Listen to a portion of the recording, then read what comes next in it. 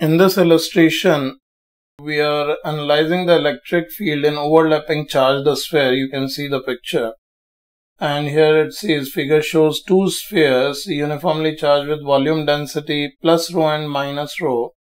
And the centers are at a separation A.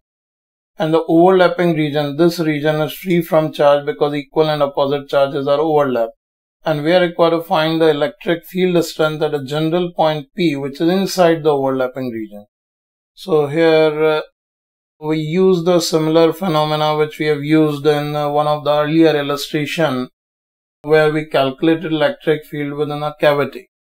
So here we assume if uh, there is a complete positively charged sphere and uh, point P is located at a position vector x and due to the positive charge here electric field is in this direction we write it as E1 vector.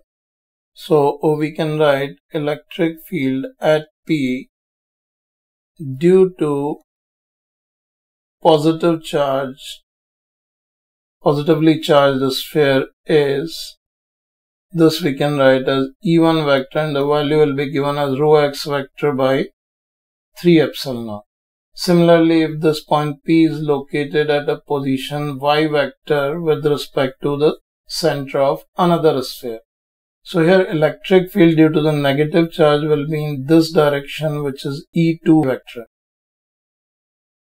So we write electric field at P due to this negatively charged sphere is this you can write as E2 vector which is given as rho y vector by 3 epsilon naught with a negative sign because the direction of E2 vector is opposite to this y vector. Now in this situation we can directly calculate the net electric field at point P due to both of these spheres can be given as EP vector is equals to E1 vector plus E2 vector. So this will be, if we substitute the values, this rho by 3 epsilon naught, this x vector minus y vector. So here x vector minus y vector will be this vector, which is the position vector of uh, center of second sphere with respect to the first sphere. So here I can also write this as a vector which is equals to x vector minus y vector.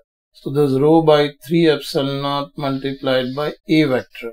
That will be the answer to this problem and here we can see if the two spheres are overlapping this positive and this negative and if the centers are displaced by a position vector a then we can see in the cavity region the electric field everywhere is uniform and its magnitude is given by rho a vector by 3 epsilon naught.